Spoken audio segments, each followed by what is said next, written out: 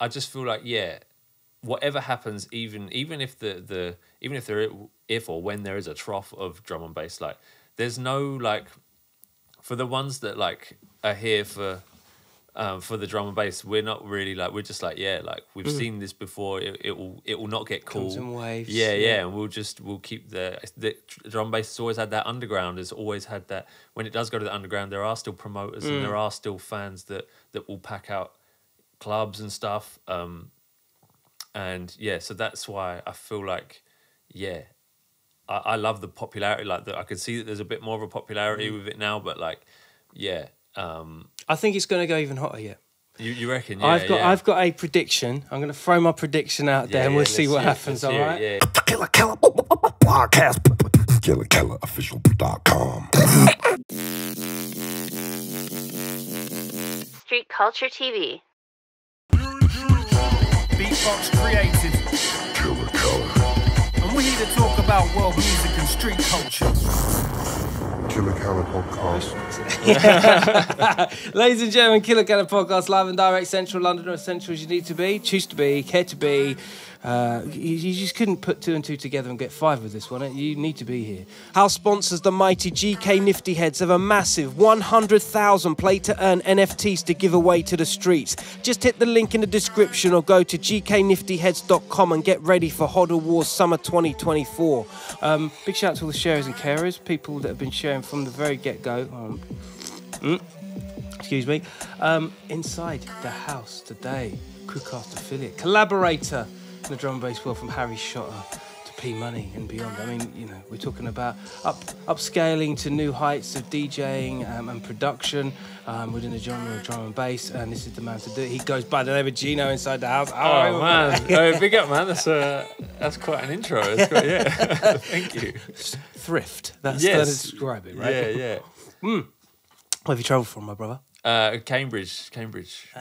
Yeah. The bridge. Yes, yeah, yeah. Um, not from there originally, but that's that's where I live. That's Where you from living. originally? Uh, Essex, Harlow in Essex. Oh, wicked. yeah, yeah, yeah, It's been a while since I've lived there, but yeah, that's where I'm from. Big up uh, Harlow, big up Essex, big up uh, Cambridge. Yeah, yeah, man. It's good there. I like it. Yeah, it's got a lot of it's got a lot of uh, university catchment for those that ain't from the area but know where it's at. It's, Mm. Yeah, lots. I think there's like I think there's like thirty. I think it's thirty one unis, like thirty one colleges within the uni there. It's like some yeah. What? There's loads. Yeah, it's just all dotted around. I didn't realize this until I moved there. Yeah. Really? It's- yeah, it's mad. Do you feel like you, you, have a sense of ear to the ground when when it comes to like that level of um, uh, of young people and youth? Like the the the culture relies on those kind of sources, doesn't it? Mm, yes. Yeah. Yeah.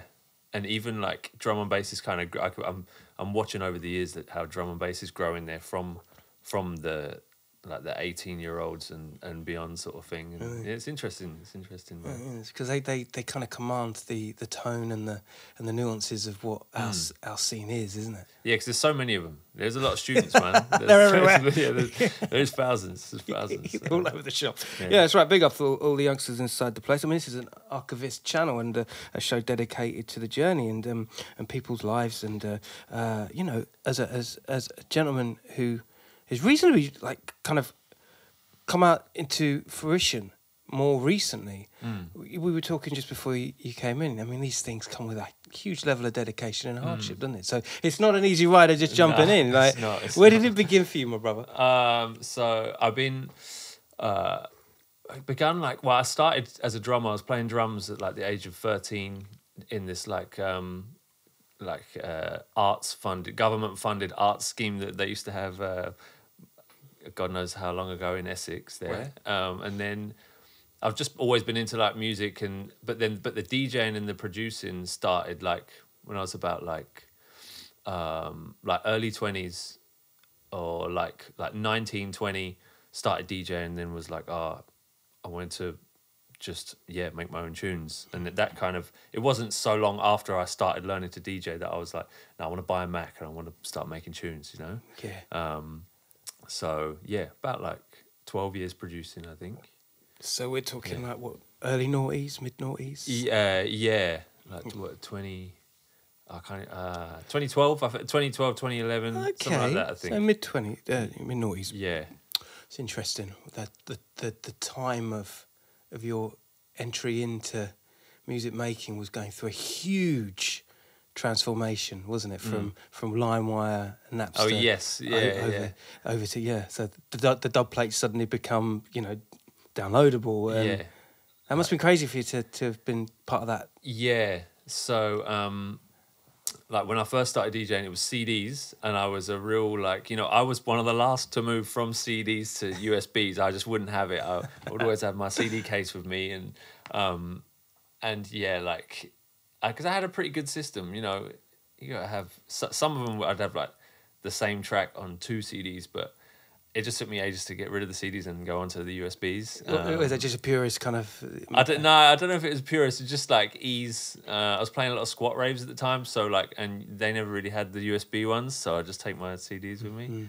Um, yeah, um, but yeah, when when, but I, I I I see it as quite. It was I was I kind of grew with that, like with with the streaming stuff. Like I kind of become. I don't really remember the the switch, um, because I kind of grew with the my, I started putting my music out a lot more when Spotify was um, like already there, kind of. Yeah, it was- Apart from yeah. one or two releases. It's interesting, but you you you cut your chops and uh, built built skills on the squat scene. Yes. Talk to me about this. Talk to me about the squat scene for its time. Oh yeah. So um, I was uh, I had a different name then. I was Rushmore, um, but a couple of things happened. and I changed my name to Gino to my my Yeah. name, which is Gino. But yeah, like it was like 2014, 2014, 2015. Um, yeah, London. It, all London shows, London squat raves. Um, yeah, it was just really like every week or every other week there were these squat raves, and um, I played my first. I played my first proper gig because I entered a, a DJing competition. I wasn't really producing much at the time, and I won a set. And then there was a squat rave promoter at the set. It was at Brixton. I played Brixton Jamm. Love Sick- Brixton yeah, Jamm, old venue. tight South. Yeah, yeah. yeah. Um, and there was um, a guy there, and he saw me play um, Ellis, and uh, he was like, "Yeah, yeah, I'm putting on like squat parties. Uh, I got a drum and bass set there if you want, because I was playing dubstep at the time. I was like, I was really, really into dubstep.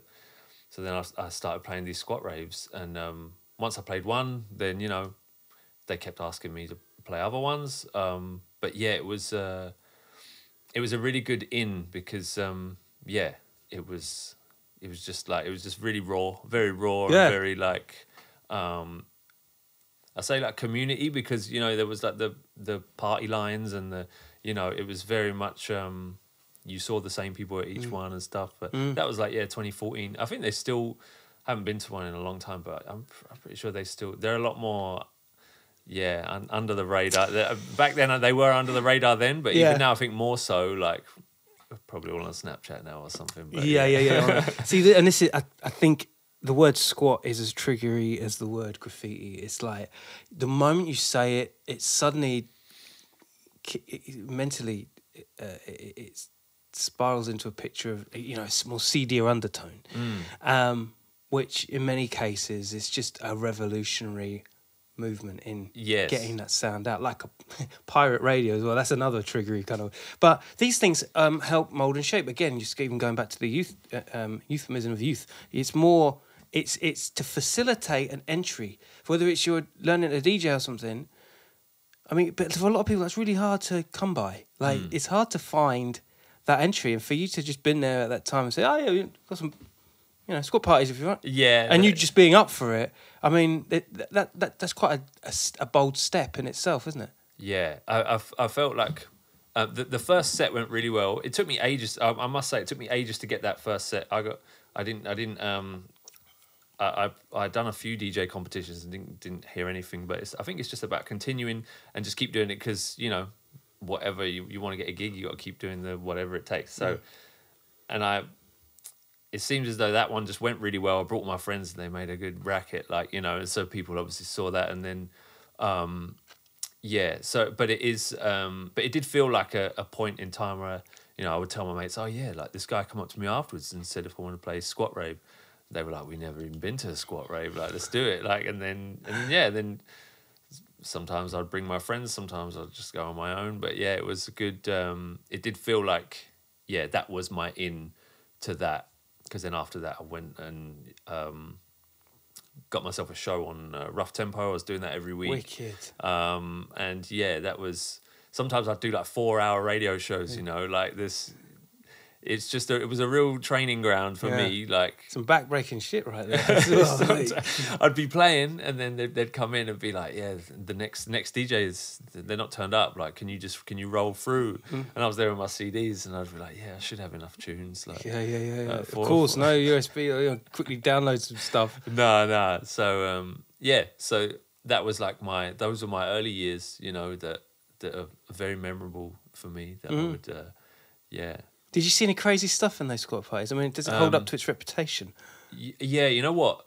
I think luckily the ones where all of the crazy stuff happened, like I, r- I really wasn't at. It was like the the ones like The ones that got away. yeah, there was one where like someone's finger got chopped off inside. I don't know how. I think they got it caught somewhere. It wasn't in a malicious way, like, but I wasn't there for it. Um, and yeah, but there was some messed up things that happened in uh in some of them, but when when I when I was physically there, I didn't see anything like anything too crazy. But I, I've heard of the other ones that I wasn't at that that were. Yeah, I And know. it's, it's, it's just mind-boggling. It still goes on now. Yeah. it's almost like your name's not down, you're not coming in. Yeah, yeah. Oh, I love that. Yeah. I mean, yeah, give me danger, little stranger. That sounds great. Yeah, yeah. Why'd you change your name? Ah, so I started off as Rushmore, then um, then I was Arnoni, um, but, uh, but I was working with um, I was working with um, a couple artists from like originally from Newcastle, Sub Zero, Taxman, Nice. Original Sin, and they were like, Wow. "Oh, mate, I can't, I, I can't see your fucking, I can't see your name, mate. How, how do you see your name?" And I'd be like, "Oh, it's Arnoni." They're like, "Oh, is it Arnon, Arnoni? Oh, mate, I don't know." How. And I was like, "Oh, sod this, man."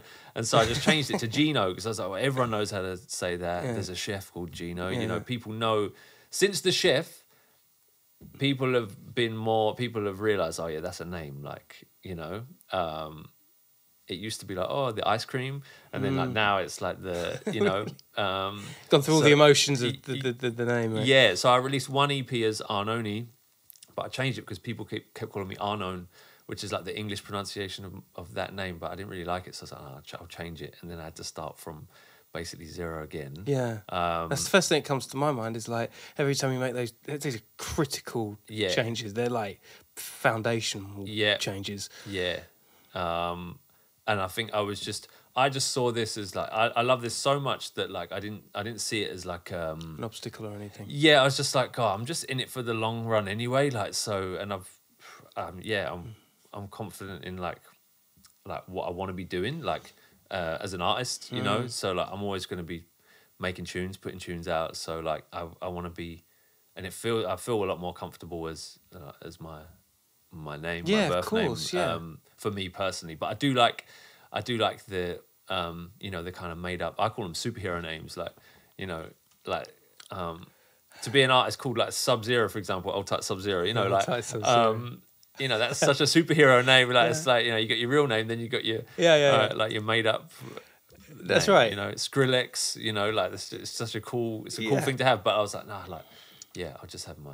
my If name. you, it's everyone needs a Sasha Fierce in one form or another. So if Mm. your Sasha Fierce is, you know, just your name, I mean, I, that's that's that's held with higher regard. I think. You know what I Mm-hmm. mean? Yeah, okay. Yeah, but a couple of people have said that, like, oh, that's quite bold, or like, just have your name as your artist. Like, Do you know what though? I also feel, and this you know goes back to people beginning their journey, is like you you shouldn't be afraid.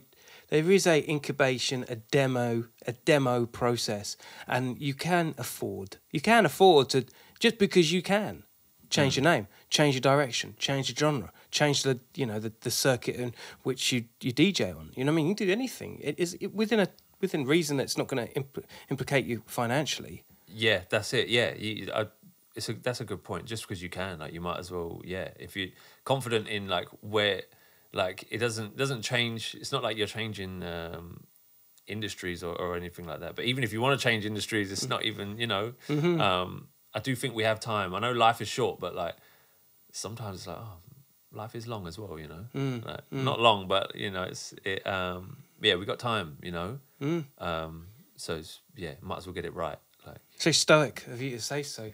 I mean, time does time it flies. Yeah. Before you know it, you're you know you're up front working with people. you know, well, how did that even? How did, get here. Do we have time to enjoy it? Do we have time to enjoy those moments? Mm. The moments of hard work and grit, and you know, because at the time it's a bit cumbersome. It's a bit, oh, it's labour. Oh God, I've really got to make that decision. But actually, when you look back on it and the, how fast time goes, those more critical decisions should, should have actually been fun, shouldn't they? Yes, that's true. Yeah, I often find this when when I'm DJing. Sometimes I'm like, like I'm like so caught up in like the the technical like oh like I want to play these three tunes at some point I want to play these two tunes together at another point I want to connect that you know that I'm like it can take away like the um uh like the actual like real fun of like oh my god I'm playing to like 5,000, 6,000 people, whatever. And then afterwards, I'm like, oh, that's when I, I enjoy it the most. Is like sometimes like afterwards, I'm like, oh, yeah, like oh, why didn't I just? But if I relaxed too much while I was there, I'd just be standing there like you know, just just not really doing any work. But you know, it's it's work. But um, Does- Does ambition play a part of that as well? Is that you can't see the wood for the trees almost, like you say, whether it's you kind of configuring which way in a direction of music the audience would like, you're not even seeing the audience and shit like that. um, yeah, some yeah, sometimes, um, but uh, but I that's why I just try to remind myself like, oh, just um, yeah, take it in for a sec, you know, whether that be in the studio, you know, wherever I got like when I had P Money recording vocals or Harry Shotta recording vocals, you know, up to that point I'd not not really worked with any any vocalists, you know, so I would have to like um I find those those moments kind of more um yeah, I didn't take those for granted. I don't think like I really I really enjoy like working with, working with artists that I'd like once saw at Brixton Academy like ten years ago and used to go like all the time. You know, so um, yeah, so yeah, sometimes it's just good to to take stock. You know, Smell the flowers. Yeah, there's a smell the flowers. Yeah, yeah. Sometimes. As our families would say. Uh, uh, uh, talking of families, big shout out to my Cody, Harry Shotta, because uh, you guys have been doing a lot of stuff together recently, and, and, and through through advancements in conversations that you know with, with Harry, you know, been around him so much, it's like you you have you've smelt some flowers, and you've you you're in this place where you've you've taken opportunity at each a segue and you've got yourself into this position working alongside Crucast and like you say p money and the people that you used to admire or see on stage and they're all of a sudden they're, they're in your periphery crazy Yeah, that is. It is interesting how. Um, I think uh, Joe from Crucast i'll Type Joe, i'll type joe he yes um he said he found me on YouTube because I just started my YouTube channel just doing something over COVID lockdown. Right. Like I just was, um, I didn't really have much more time on my hands. I was delivering food. Like I was, I was a Tesco delivery driver, so I was like, it wasn't like I had. I was picking up more shifts, if anything. Like I was more busy, but I was like, oh, I want to do a YouTube as well. And then, um, and it was about like production tutorials, just free, free to access. They're still on there. Like, um, and then Joe wanted to learn. Um, he had a bit more time on his hands because they run events and there was no events.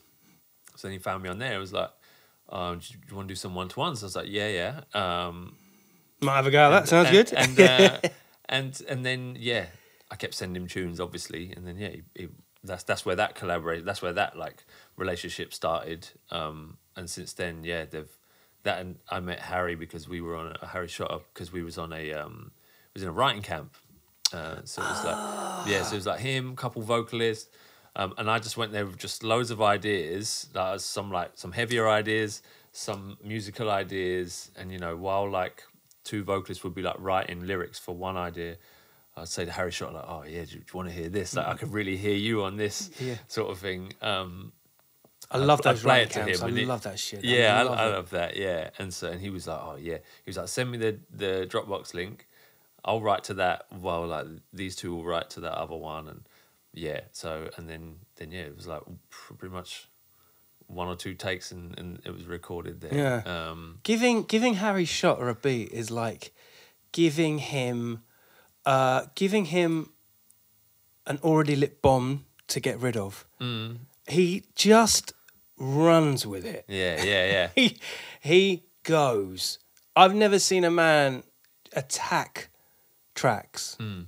in quite the same way. Do you know what I mean? Yeah, yeah, yeah. It was a real uh, like he when um he said like oh yeah I think I got something for it and like he just done it in front of the the everyone who was in there they were like that was that is sick like yeah get, Oh yeah, and he read it off as well as if it's nothing. Yeah. yeah yeah and um yeah so it was uh yeah, he really smashed that one. Um, I'm so uh, yeah, so gassed that we got that one out in the end. Yeah, Did and that spawned you guys performing together and Yeah, yeah, and I, I, um, we done a little set on his. Um, he does mic masters on Kool FM. and, Um, yeah, and I really liked. Uh, yeah, we we just been. It's good when when you start um, playing more sets with someone, you start to like. Bass Fest as well. You them. guys did the Bass yeah, Fest that was the was that the first time we played together. I think. Yeah, I think it was. Yeah. Um, yeah, that was that was like the the beginning of that really. Um, He yeah. spoke very highly of the of the performance. Oh, I know he yeah. loves playing.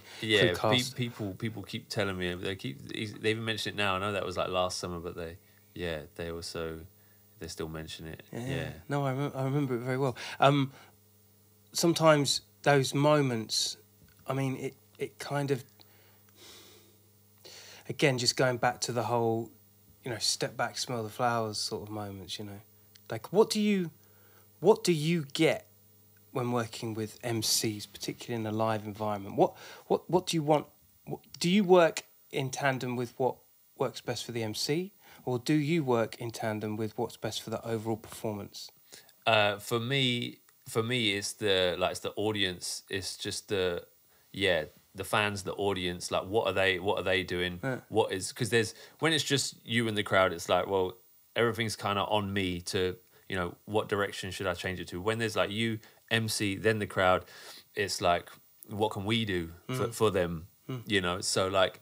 um so if uh yeah i just like a trial and error really just test things out or you know if we haven't done a rolly one in a while stick a rolly rolling track in there you know because i make a lot of like bass heavy kind of ro- rolling tunes as well like there's there's loads that i like to yeah leave no stone unturned you know and um if if like if I play a weird tune and it doesn't go off so well, then I'll I'll think that yeah these lot are not they're not wanting the weird tunes, you know. So um, yeah, but uh, like with someone like Harry Shotta though, it's yeah he's uh, he's he he's got he got full control. Like he's like he know he knows what they want. He's- Optimum he's- control, Yeah, yeah. He you know he's obviously he's he's like closer to him than me, like physically there, and then also like yeah, I just feel like a good MC really just takes control. Of All right, hold, hold on a minute. Okay, now you can, now you've got me thinking how an MC and a DJ how that enables the DJ.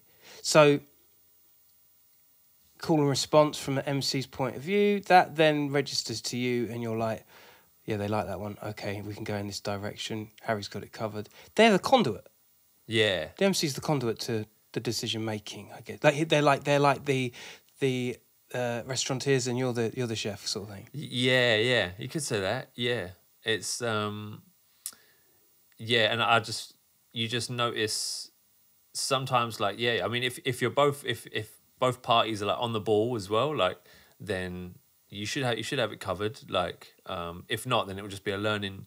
As long as you can take it as a learning curve, whether it's like you know, um, if you work with someone and they're just whether it be a, a back-to-back partner or a, or an MC and and they say like oh no i'm not really feeling it today you know because it happens like you know so um then but yeah but more often than not when you when all both parties are on it and yeah um and yeah but, but it does feel like that. It does feel like that they are like a yeah that they are like the conduit to you know because the call and response is a great um it's a great testing method as well like you know It's an indicator, uh, isn't it? Yeah, like, uh, yeah. Like, um, I would love to get an MC's view on it as well. I, um, I have to ask Harry Shotta, um, like, yeah, what it's like, what yeah, what it's like as having you know someone like me as a DJ, or like what it's like having because sometimes you can just get caught up in, um, you know, we've been doing it a while, so like I feel like we just like, um, yeah, you just you know you just go like game time and you just like Yeah. you just crack on and yeah you just um there is a there is a sportsman athletic, or should I say rather, mentality to a drum and bass as a whole. I think bass music generally, but Mm. there is this attitude, and also there is a camaraderie in that as well, isn't there? Of Yeah. like this is this is serious play. like, it's like it's Yeah. business, but it's it's you know it's fun business. yeah um, and th- that preparation, that getting on, that focus, that still is strong as ever in drum and bass, isn't it? I think so, yeah. And like the, the thing I like about it as well is that there's you know that there's generally 99% of the time there's going to be like a few people there or at least one person there where it's their first their, their first rave and they'll see me reloading tunes or they will see the MC like doing these bars and people calling them back you know so and and I think that's um that's how that's how the drum and bass community or like the rave scene that's how you get other people involved like um you know just by by like latching onto what um what everyone else is doing in the crowd and and that re- their the crowd's relationship with the DJ and the MC um you know uh like the MC will call for the reload da, da, da, the MC does the reload the crowd crowd goes mad or maybe the crowd don't go mad and you know they, they you know but generally Should we just reload that again? we- 99 percent of the time they do but yeah um yeah so there, there is there does seem to be a bit of like camaraderie yeah Yeah, yeah, yeah. And a whole new generation of people that weren't there, and and that's cool too. With Mm. with um, organisations like Crucast, DnB All Stars, and such. Like there's this influx of like new attention where it almost feels like uh, jungle drum and bass is an already established scene. It's and it always was its own genre, but n- more now than ever, it's it. Then the the words the actual title of the music is just such a given nowadays. It's like, mm. yeah, it's always been there. To a lot of the generation, it's always been there. It was it's never been, you know, dubstep, it still has it it's still within a period where it it it has it has to st- it still in a weird way has to reestablish itself again. Yeah. But jungle and drum bass is it's just been such a big part of our British lives, isn't it? Mm, mm. Um, and this new audience are they're coming in already aware of what it is, but now the the profile and the platforms have raised game, haven't they? Mm, yes, like the it's so yeah, it's become I'll say mainstream because it has just reached such a wide audience, and there are you know there are pop stars, you know making making tunes with DnB drum bass and jungle beats, and you know, um, yeah, and I feel like I've seen a couple. I mean, I've been you know I've been doing it like eleven years or so, and you know so I've seen like a couple peaks and troughs, but I've I think this, and I've heard from a lot of the veterans as well, that the drum bass has never quite been drum bass jungle has never quite been this big, like wide and broad, and obviously it's it's it's going it's going crazy in America right now as well, which is always yeah, a telltale sign that, Yeah, that yeah. you know it happened with dubstep that blew up, and I feel like, but I think the thing is, um, I just feel like yeah, whatever happens, even even if the the even if there if or when there is a trough of drum and bass, like there's no like for the ones that like are here for um, for the drum and bass, we're not really like we're just like yeah, like we've seen this before. It, it will it will not get cool. Waves, Yeah, yeah, yeah. and we'll just we'll keep the the drum and bass has always had that underground. Has always had that. When it does go to the underground, there are still promoters and there are still fans that that will pack out clubs and stuff. Um, and yeah, so that's why I feel like yeah, I, I love the popularity. Like that, I can see that there's a bit more of a popularity with it now, but like yeah. Um, I think it's going to go even hotter yet. you, you reckon? Yeah, I've got yeah. I've got a prediction. I'm going to throw my prediction out there, Yeah, and we'll see what happens. All right. Yeah, yeah. Um, let's take Skrillex as a good I identify uh, a good indication, um, and let's go back maybe twenty years to glam rock hair metal, where things were very much you know lipstick and full on gloss, you know, New York dolls on steroids, right? So let's fast forward now to jungle drum and bass, right? And I've got a prediction that because America is the way it is, um, we're gonna hear a drum and bass act but with a vocalist of a Limp Bizkit genre. Oh, okay. Yeah, yeah, yeah. Okay, I see that. Hmm? Yeah, yeah. It's gonna happen. So kind of like, And if it isn't happening, I'll get on that right now, brother. mate, Limp Bizkit would that? Yeah, Limp Bizkit was sick. Like, and are sick. Like, yeah, that was. uh So you can see where I'm coming from. It's like you can imagine because the, the drum and bass is the pace of, of halftime hip hop. Well, Yeah. they know hip hop. Yeah, So yeah. double that, and then then you got a kind of like rock rap kind of punk speed. Yeah, surely. Yeah, I think. um Yeah, and, and I think because yeah, because we know like w- with what happened with dubstep and Skrillex, like. But I think there there were positives. There was like loads of pos- There's loads of positives with that, and you know the that you could take away some negatives. What's the on where- negatives to you of that? Oh, to what to the, the Skrillex taking the. Here, here's a bus. Get in it. No, no, no. no, no what do you I, We're, no, we do on general, general. I love Skrillex. Me man. too. I'm yeah, like, yeah. but I get what you mean. Um, to some purists, Yes, yeah. Like I remember back, you know, back like in yeah, tw 2011, 2012, and people or 2010, like people would say like, oh, you know, like I prefer, I prefer the deep stuff. I don't like all that mid-rangey, screechy, you know. But I kind of lost the reggae. And, Yeah, yeah, yeah, that's right. Yeah, like the the, the delay and stuff. Like, Mm. but like. I was just embracing. I like. I liked both. You know, Hundred, I didn't want to. Not saying I'm sitting on the fence, but I. I do anything that is you know, I like so many types of music, but as long as it's good to me, Mm. you know, and to me there was like there's great tunes um in the the deeper darker stuff and then there was great tunes of the um that um like screechy stuff that was Yeah. becoming popularized and new. So like um and then now it's just now it's it's, it's kind of combined. Um, Mm. I, I think that the, those flavors and those sounds they kind of combine. Similar things happen with jump up as well. There's um, there's lots of like bass heavy, but also like half screechy, half not screechy Mm. jump up drum and bass. You know, um, I think there's just it's much more of a melting pot now. I know it's always been a melting pot. Mm. And that's how. when you step away from it, it is Mm. because what you're talking about there is kind of splitting atoms, really, Yeah. in sounds, sample packs, and how how you fuse fuse things. And I think it's human nature to want to fuse and move things forward as incrementally as you can, isn't it? Mm-hmm. That's kind of a producer's role, isn't it?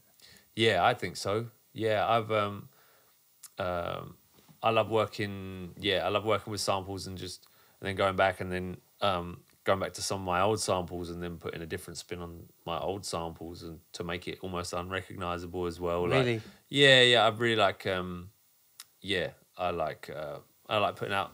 I've put out a sample pack as well. I really enjoyed that. I'll but- big it up. What what um, what, uh, what platform's that on? it's uh, I was on um, so I done it through. It was on by the producer, but they're they're no longer operating anymore. So it's just on my my website. Yeah, good, yeah, yeah. Link in my bio if you. yeah, yeah, yeah. if you- my Do bio. um, yeah, and like I um, yeah, and so.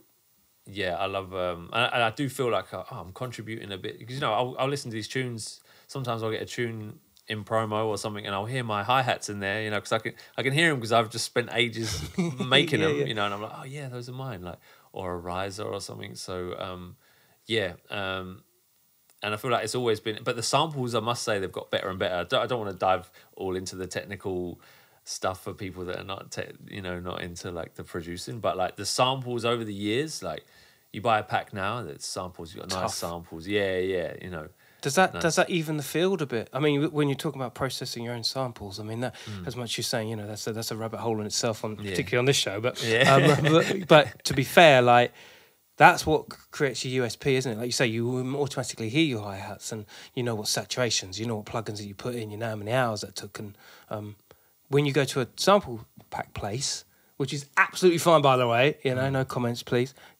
uh, It does it does open the the competition up, doesn't it? Yeah, is it especially like Splice? You know, you can. Um, yeah, there's just so many. It's great because you can be. You can even be like a film editor or a video editor, and you know they've got all the sound effects, any effects Yeah. and sounds that you could ever want on there. But like, yeah, even the kicks and the. You know, you got people like Noisia making drum, sample packs Oh, now. Like, you Mate, know, um, forget it. That- you know, if you want a good kick, Whoa. maybe go to the. You know, it's it's simple. Like, yeah, if you want a good starting point, you know, go go to that Noisia Yeah. sample pack, and you know, everyone knows that they're sick. Like, so. uh um yeah and i just i just think that's great because back then um the the first sample pack i bought was like dr p sample pack big up and i told him the other day that um that that yeah that I, that his was like the first ever sample pack that i bought and like it was the highest quality of that time that i could find like because i was i did do a lot of searching um yeah whereas now the the, the samples are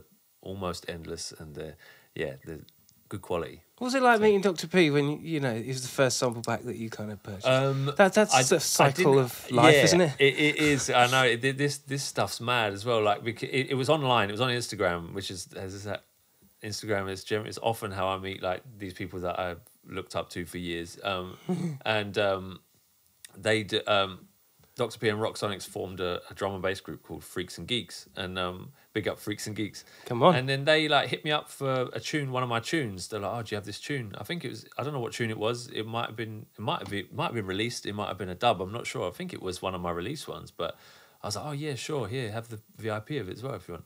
And then I, that that's when I thought like, "Oh, I just want to say like, yeah, like while we're here, let me just let me just gas you up for a minute. Like you're like your your sample pack was the first sample pack I bought, and it was really um yeah. And I've rinsed those samples and in in tunes that you know um that never probably never saw the light of day. You know, uh, some of my first tunes they're just you know, uh, they're not going to be never going to be your best work, and that that's okay. But like, yeah, they were. It was good for me to like just, yeah. It, it, it It's an okay sign, really. Like that you, it's What? landing in the right people's hands. what's that? The um, That that just having them discover your work. yes, yeah, it- you don't you don't quite know where it's come from. Is it Nah. a it? No, that's that's that's clarification, really. That you could ju- you just got to put shit out. You just got to go. yeah. You got yeah. That's it. You just got to keep like um. There's so many examples of that. Like there'll be some. There'll most times it's like um, you know, putting out like if it's like oh, where you've got a release schedule, but then someone's like oh, do you want to do a remix? And then you'll do a remix. You do that remix because you want to, and um, yeah, and and and that remix that you make, as long as it's like, as long as it is, you know, whatever you're doing, it's not like you're not slap dashing it. You're like making sure you leave no stone unturned. Like generally, that tune that you make that was just some little remix to go in, i- um, mm. in eh, just to squeeze somewhere within my schedule will be someone's favorite tune. Like they'll hit you up like two months down the line, and be like, oh, I've been. I've had this tune on repeat. It's my yeah, favorite, yeah. and you're like, "Oh, that was just some Thing that I just had, to, had to fit in. Yes, yeah, or wanted to fit in still, but didn't think that it was going to be your, you know. So, um, this happens so often. That happens like so often. Like the tunes that you think, um, like are just not that are not your big hits. Mm. That they're the ones, you know. There are still people out there generally that would be crazy over that tune. They're like, yeah, I love that tune. But like- keeping take taking that into account and going back to what you said about no stone unturned. Now, um, if you're a producer and like you say you're working with time restraints, like uh, it sends me with anxiety even talking about it. But no stone unturned and just constantly refining. And are you ever satisfied? Don't know. Got to keep on going. Yeah, I ain't got time. I'll keep it going. I don't know. That must drive any good producer up the fucking wall, especially when you've got um, a, a, lot of attention going on and people want you for certain things and your schedule is everything to you. You know, is there compromise there? Yes, sometimes there is, and some sometimes I like to put a I like to put a little barrier in place for myself to, or give myself these limitations so that um, and it's just it's a it's I've learned to put on these limitations as such that like so I'll be like right let me I'm going to restrict myself to um this this synth or this sample because and I'll like resample it and I'll be like okay I don't want to be like I don't want to spend all day like trawling um that my my sample library for like a sound that sounds like this. I'm, I'm going to see if i can make it. Because you can without going too much down a rabbit hole you know you can from from a you know one, one simple womp or even like a a, a um a piece a, a little sample or, or a bass patch you can you can pitch it up and pitch it down. You can you can get tonality from like um, post production anyway. So like i'll generally like limit myself have like little limitations in place so that that can um you just give yourself a bit more of a like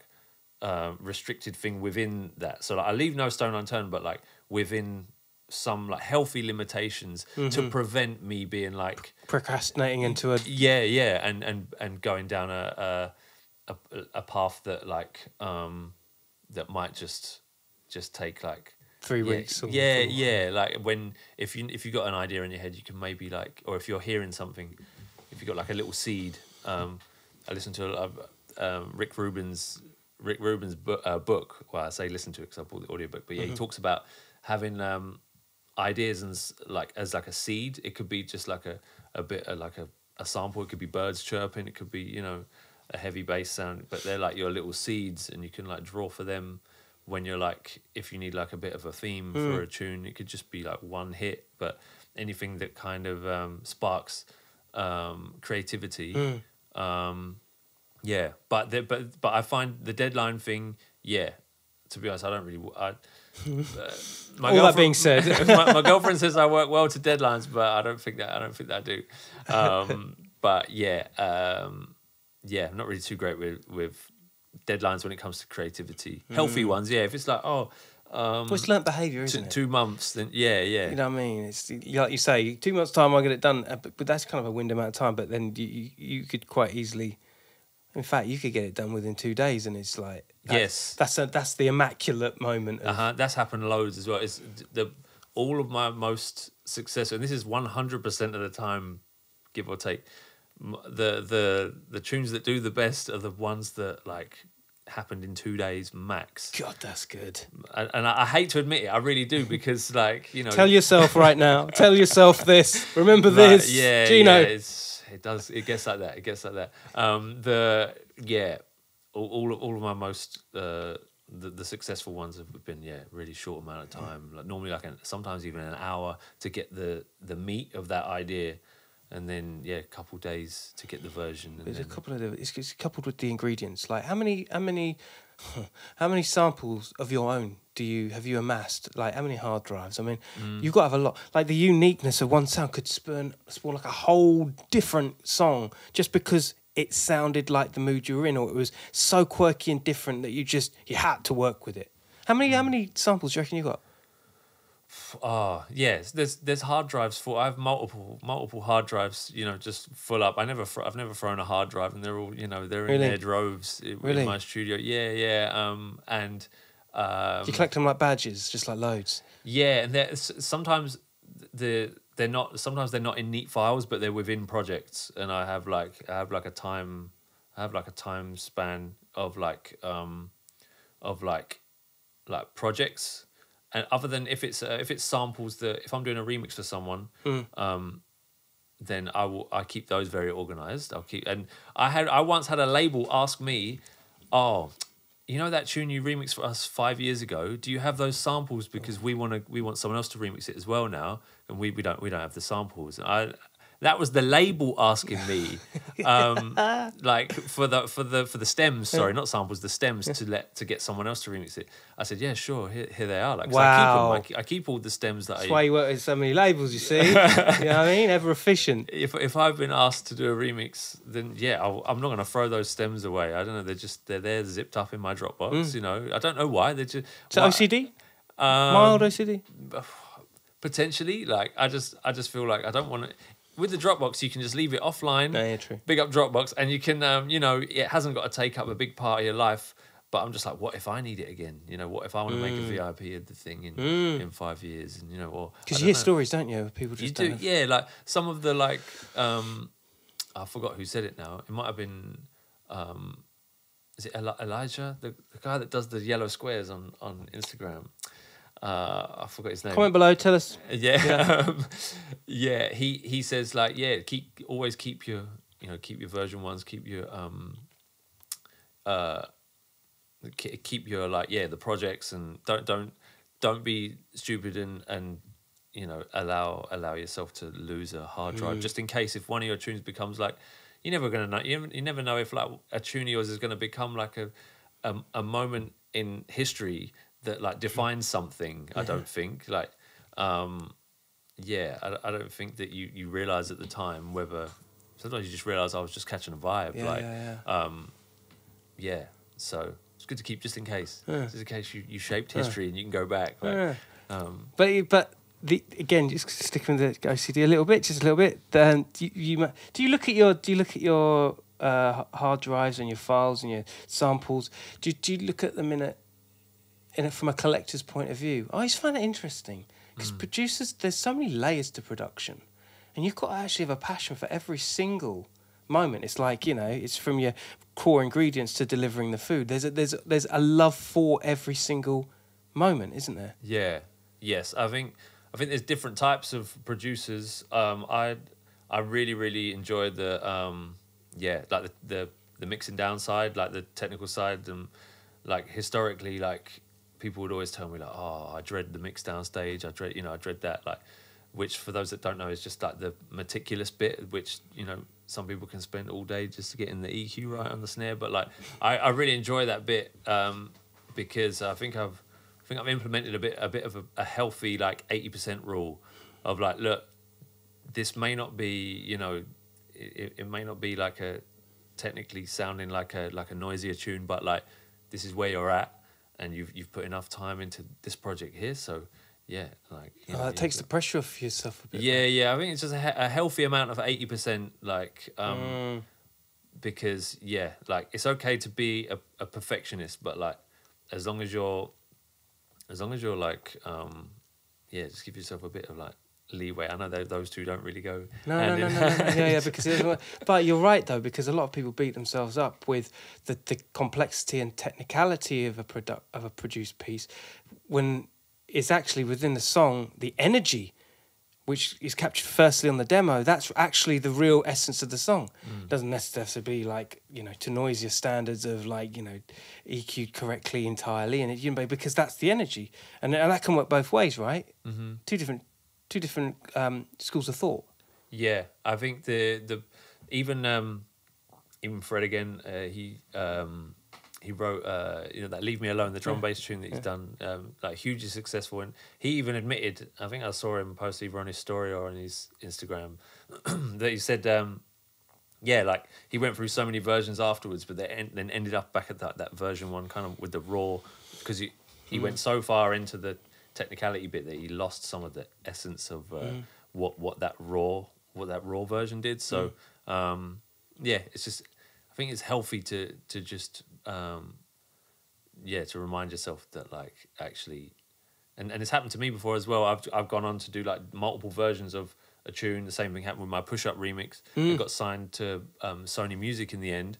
Um, um, I, I made like three or four different versions of, of the tune, and then I'd sent the version one to Hedex, big up Hedex, and he Yeah, played it. At, he played it at um, Printworks, and then he also, you know, it's one thing for him to play it, but then he like uploaded the clip of him playing it, and then and so that that started it. Wow, there you Then go. he played it at Rampage, and then that clip got uploaded, and um, and I think that that that was like the beginning. And then I was like, oh, I have to now retract because I was so confident. I was I was confident at first, but I was just exploring. I was doing my leaving no stone unturned thing, Mm. and went on a huge rabbit hole of this remix that that never came to be. But I just I reversed reverse engineered all of my stuff, and then ended up back at that the raw early version Mm. and kept that. It's confidence. that takes confidence, really. Yeah, uh, yeah, just Exploration. making making decisions and and being and like standing by those decisions and be like, well, I've done this now, Yeah. you know, and you know, yeah, I've I've retracted my, you know, um, Yeah. it's kind of like uh, building like a castle, a thing, or building like a Lego thing, and then being like, oh, I need to, ch- no, I wanted a different color door, and then having to take everything off and put, the, you know, kind of rebuild it like that Yeah, yeah. uh, in a way. I get that. I get that. I get that. Um, I mean, you know, you talk about Hedex and you talk about Rampage. Oh my god, the scale of that that event and people and what um, I mean, I know nowadays it's like you know, yeah, it's what you're here to do. You know, this is this this is Gino. but um, you know, the what what does that do to the your production moving forward? Because obviously, there there's an anticipation and more of the same, please. Yes, and and upload the video, and I want people to hear the stuff, and and that builds up momentum. Is there any do you, do you, do you place any pressure in? In the creative space, when you're in a studio, "Oh, I kind of kind of rival what I just did there," because that got Oh. that got played. Do you know what I mean? Yeah, I I know what you mean. Um, yeah, I think it's my my best work comes when I like forget about when I just forget about the past in any way that I can. You know, that's that's happened. That's cool. Um, because yeah, there'll always be the the voice that's in my head that says like, "Oh, you're gonna you're gonna drop the ball," you know, you're gonna or you you know, um, Yeah. people are gonna just stop. You know that voice exists, and um, Yeah, yeah. so like, but but my best work comes when I can just when I can just forget about the you know if my last tune was successful, you know, we'll just take this as a blank canvas and um, yeah, because if if that one does does because if if one does well, then you know this one takes a bit of a dip, dip, dip, dip, and then like if that one do, if the next one the next high is slightly higher than this high, do you know what I mean? yeah. Like, but it took uh, six months to get better than that Yeah. last big thing. Then, um, Yeah. yeah, and I think the interesting thing about it is that you just never really know what you're gonna what what what I'm gonna make this year. Like 'cause Mm. I, I do it in year. I think in my head is as like a year as a whole. Like you know, um, the the P Money tune that we done last year. Like I didn't really know I was gonna make that at the beginning of last year. Mm. You know, these things just happen, and um, yeah, I I've, I've I find that quite exciting. Um, putting those things into place. Like just done a tune with um, Spider. Um, big up Spider, and you know, and it's got Yo. this, and it's got this theme, and you know, and, um, Yeah. but I didn't know I was going to be doing that at the beginning of the year, like you Mm. know, so it's just That's just exciting, isn't it? yeah, yeah. You don't know, what- you don't know what you're going to do, like you know. Love that. But as long as you're always, um, you know, ready as your best self, when you turn up to the studio, and you just, you know, uh, then you, you can always just have be a true representation of where you are as an artist, and and and what you're going to do within that within that time. So, but I don't know what I'm going to do in October, for example, music wise. You know, I was about to ask you what's the future. but seriously, it's a mark of a, of a professional in actually, actually um, articulating in a way sometimes the things we don't say, the truth, the the honest of uh, the honesty of, yeah, you know what, I, I understand that it may dip a little bit. I understand that these are all individual, you know, fishing rods that I'm constantly prodding, and you know, some may have life and get get to one place, and the others, you know, just might stay redundant and might come back later if I keep hold of the uh, of the stems. You know, it's, definitely, yeah. it's all of that, isn't it? Uh, it's batting average. It's law of average. Yeah, it's uh, it's and and again like taking taking a bit of the pressure away from um, you know from future projects that haven't even happened yet. Like um, some some projects they're always you know destined to not be like as big as your last project, and that's that's all right. Mm. And that's okay as well. Mm. Yeah, it's never gonna you know um, yeah for for me as I um, where I am at the moment, you know, putting out I'm putting out um, quite a lot of quite a lot of tunes, quite a lot of music. Cause I'm, you know, uh, even though I may not look it, but I'm I'm actually like uh, I'm seen as a new artist and, and, and like coming up. I know I'm not seen as a new artist, but I'm on the come up. Do you know what I mean? So like I, for me, I, f- I do feel as though I have to like I want to and have to like have a um, quite a high output year on you know Yeah. year on year every month Yeah, yeah. one or two releases, you know. So, um, so at the moment, I'm not thinking like, ah, if I can just work on the perfect tune for October, uh, you know, if I could just, you know, you know, if you work every day, there's a saying. Um, uh, well, there was this like, oh, I don't, I don't. This story might take ages, but like, there was like one group. I think it was Hormozi. Alex Hormozi said it. It was on on another podcast, but he said like there was this like um, pottery class. Uh, so there was like two. This pottery teacher had like two classes. He had one class, and he told that class like you have to make the perfect pot. I just want you to, no matter how long it takes, I just want you to. After this course, I want you to make one perfect pot. And then the other class, he told them, um, I want you to make as many pots as, as possible. Your task is to make just as many pots as possible. And so at the end of the course, you just like you're, you're judged on quantity. The other group was judged on like who has the perfect quality, one. yeah. Yeah, yeah. It turns out the the you know at the end of the course, the the class that was like told quantity is best rather than the quality, like just keep making, f mm. keep keep finishing products. They come out with the better. They you know they had multiple good good pots because they were told just to repeat, just repeat the goods, just repeat the stuff, and just you know Fucking great. I love and it. and the other one, the, the ones that were told now, are, your task is to make one perfect one. You know, they they they come out with pretty average Mm. an average pot. You know, so like, and it is true with with music. Like, just keep. Um, It's kind of yeah. AI, isn't it? Really. Yeah, oh yeah, it kind of is. Yeah, It's machine kind of AI, learning. Yeah, yeah. yeah, yeah. Where it just keep Yeah. going, repeat and repeat and repeat. Um, Well, no, just make the you know quickly source the best looking thing that kind of looks like the pot. But us as human creatives, we have this opportunity to really develop ahead of time, Mm. you know, as well as in real time. about what the I love that story, dude. Yeah, That's yeah, yeah. Uh, hopefully, I didn't butcher story. it, but that was that.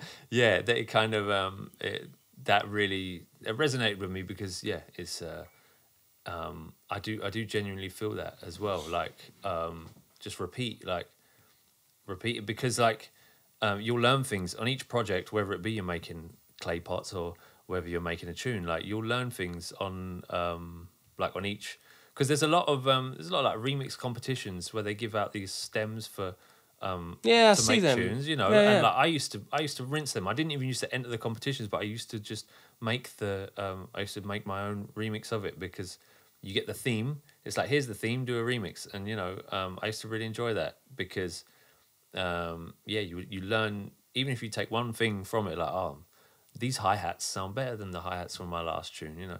And then you, it's exactly like machine learning. It's kind of, it's like actual learning. Mm. Yeah, yeah. You're just learning, and, and then on your next one, you can use whatever you've taken. Um, It, it kind of reminds you, you know, like when bands used to do cover versions of songs. You know, where'd that energy come from? Why did the why do the crowd respond to that? Even though it's us, even if it's us as a band, maybe me, me beatboxing and having copy other people's songs. Like, okay, so what is that? And you're right. It's like what what makes that hi hat? What makes that snare better? What makes them people respond in that particular way? I mean, it's all exploration, isn't it? yeah, Musical exploration. Mm. yeah, yeah, You need the stems. You need the you need the intrigue and the interest, don't you, in the first place? yeah, yeah, yeah. The you know what if like yeah what if you know that's how that's how these new genres get formed as well. Like oh you know what if what if we mix this with this you Yeah. know or um, but yeah and also everything is a uh, like even though original work is original work, but like even um, everyone takes insp- inspiration from something. You know Mm. like whether it be an energy you know. I take a lot of inspiration from Nirvana in the way that like and just like in the rawness of the Mm. of the the music. Um, I feel like my my music has a bit of a rawness to it, a bit of a rough Mm. roughness as well. Like you know, because Nirvana they they weren't you know they weren't, weren't perfect, but they you know they're like just Mm. The vibe and the energy. Yeah, yeah, that's it. Like you know, so as long as uh, if you're um, or for me anyway, if I'm like you know, I just start with an energy, start with a yeah, Just everything, isn't it? mm, Connection with the earth, energy, shit like that. it is, it is. But that's the way it is, isn't it? I think the more I think the more um, the more you do, going back to the pot, pottery output uh, Mm. uh, overview there, I think the more you do, the better you get. Simple as that. Yeah, and and you you'll you'll at least learn, you know. And I feel like if you enjoy, if you, because learning is a challenge. You know, it's, uh, yeah. Uh, the samples are getting better and better, but like still you have to learn. Like Yeah. you get get the good samples, but you know you have to put them all together. Like Yeah. um, and yeah, you, yeah, as long as you, because it can be uncomfortable when you're learning. Is yeah, it's like discomfort, and you're like, you know, a good night's sleep, and you wake up the next day, and you Hmm. you you know slightly more. It's like like learning a language as well. Like, um, And your ears are rested as well. You can overplay something. yeah, get your ears a rest. Yeah, yeah, yeah, for sure. That's why I admire people that have fag breaks. I mean, I'm not advocating cigarettes, but you know what I mean? To get out of the room for like 10, 15 minutes, if that, and, and just, you know, reset. I admire like- that as well. Yeah, I've, I've been jealous as well. I've been jealous of the smokers as well in, in all my jobs that I've ever had. It's like no one's ever. I st- still don't think that, that there's that it's yeah like um. I still think that they, um, I f- f- still think that exists. Fag breaks. I still Yeah, think yeah, you know yeah. in every job, yeah. Like, and I've always been like, oh, like, yeah, I'm kind of jealous of that. But it's, but you know, it's got to be, uh, yeah, it is quite interesting. Yeah. it's quite interesting. It's true. It's true. I prefer cigar breaks myself. Okay, yeah, Really yeah. break up the, the whole afternoon. yeah. I'm not good with cigars. Uh, yeah, I love it. Anyway, that's a whole nother podcast. My brother, it's been a pleasure having you on. Oh, thanks, man. Honestly. no, thank, yeah, it's been a pleasure to be speed, here. keep that thing moving. You Yeah, know, yeah. law of averages and all that. That's it, man. Yeah, yeah. No, nice one for having me. Nah, nice it's been a having me. pleasure, man. Uh, and and that's it. That's your daily dose of wisdom. Yeah. Uh, what more do you want? Huh? Killa Kela podcast out like in was out of fashion, all right? Stay true to yourself. Don't talk to anyone I wouldn't. Remember, crime don't pay. But neither do they. All right? Stay lucky, people. Easy. Oh, big up.